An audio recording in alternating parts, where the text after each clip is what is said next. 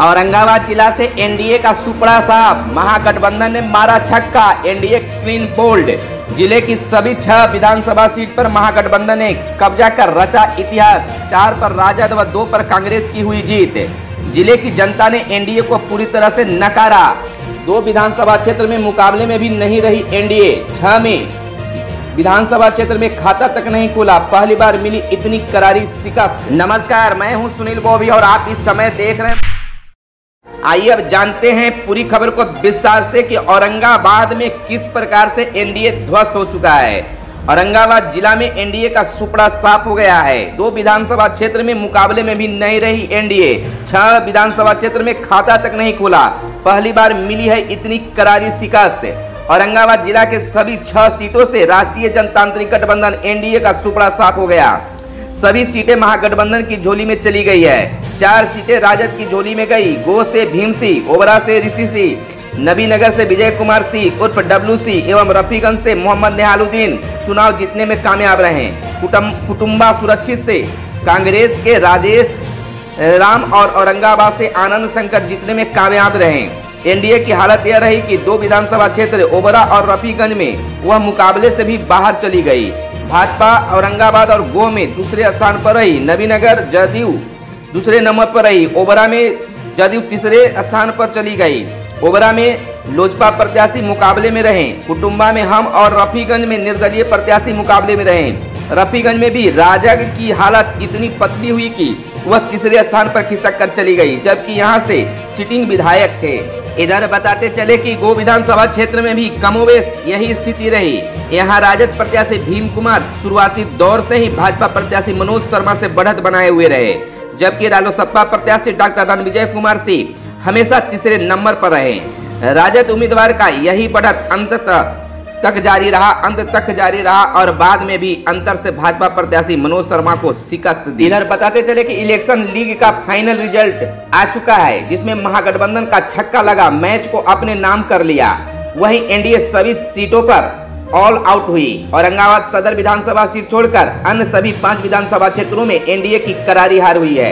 ओबरा और रफीगंज में एनडीए लड़ाई से बाहर तीसरे स्थान पर रही। वहीं अन्य दल का खाता भी नहीं खुला। औरंगाबाद सदर विधानसभा सीट पर लड़ाई रोचक रहा। कांग्रेस विधायक आनंद शंकर को कुल सत्तर हज़ार अठारह मत मिला, जबकि भाजपा प्रत्याशी पूर्व मंत्री रामाधार सिंह को सड़सठ हज़ार सात सौ पचहत्तर वोट मिला।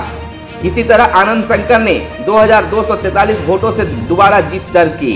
यहाँ तीसरे स्थान पर बीएसपी के अनिल कुमार रहे हैं। रफीगंज विधानसभा की बात कर ले तो रफीगंज विधानसभा क्षेत्र में राजद के प्रत्याशी मोहम्मद नेहालुद्दीन को बासठ मत आया। वहीं निर्दलीय प्रत्याशी प्रमोद सिंह ने खूब ज़ोर लगाया। तिरपन मत लाए। नौ हज़ार बावन वोट से राजद प्रत्याशी ने उन्हें पराजित किया, जबकि रफीगंज विधान विधायक तीसरे स्थान पर चले गए। अशोक सिंह को छत्तीस मत आया। यह ज़िले में किसी विधायक की सबसे बुरी हार है, क्योंकि विधायक लड़ाई से बाहर रहे। ज़िले का असली चित्तौड़गढ़ नबी नगर में राजद के डब्ल्यू सी लालटेन जलाकर जोरदार रोशन किया। डब्ल्यू सी को चौसठ हज़ार पाँच सौ छियासी मत मिले, जबकि जदयू प्रत्याशी विधायक वीरेंद्र सिंह को चौवालीस हज़ार छह सौ साठ मत मिला। यहाँ राजद ने उन्नीस हज़ार नौ सौ छब्बीस मत से बड़े अंतर से जीत दर्ज की। वहीं रालोसपा के धर्मेंद्र कुमार ने खूब वोट काटा। तेईस हज़ार चार सौ छियासठ मत लाकर तीसरे स्थान पर रहे गो में राजद के भीम कुमार सिंह को सत्तर हज़ार छह सौ दस मत मिला है, जबकि गो विधायक भाजपा प्रत्याशी मनोज शर्मा को चालीस हज़ार नौ सौ अट्ठासी वोट आया है।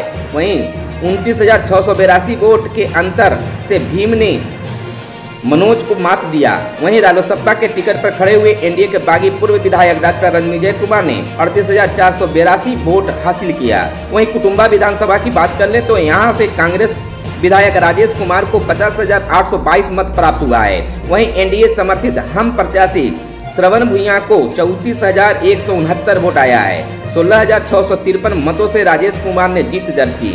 यहाँ से तीसरे स्थान पर रहे पूर्व विधायक निर्दलीय से प्रत्याशी ललन भुइया ने बीस हज़ार चार सौ तैतीस मत प्राप्त किए। वहीं ओबरा विधानसभा सीट पर राजद के ऋषि कुमार ने बाईस हज़ार छह सौ अट्ठाईस मतों से लोजपा के डॉक्टर प्रकाश चंद्रा को हराया। ऋषि को तिरसठ हज़ार सौ बासठ मत आया तो प्रकाश चंद्रा को चालीस हज़ार नौ सौ चौरानवे वोट प्राप्त हुए। वहीं जदयू के सुनील कुमार तीसरे स्थान पर रहे।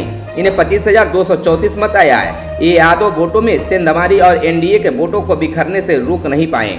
बिहार विधानसभा चुनाव 2020 में औरंगाबाद ज़िले से एनडीए का सुपड़ा साफ़ हो गया है। यहाँ सभी छह विधानसभा सीट से महागठबंधन के प्रत्याशी ने जीत का परचम लहरा चुके हैं। खबरों में आज बस इतना ही। अगर यह वीडियो आपको पसंद आया हो तो एक लाइक ज़रूर करें और हमारे चैनल से बने रहने के लिए ताज़ा खबरों को जानने के लिए आप हमारे चैनल को कर ले सब्सक्राइब। धन्यवाद। जय हिंद, जय भारत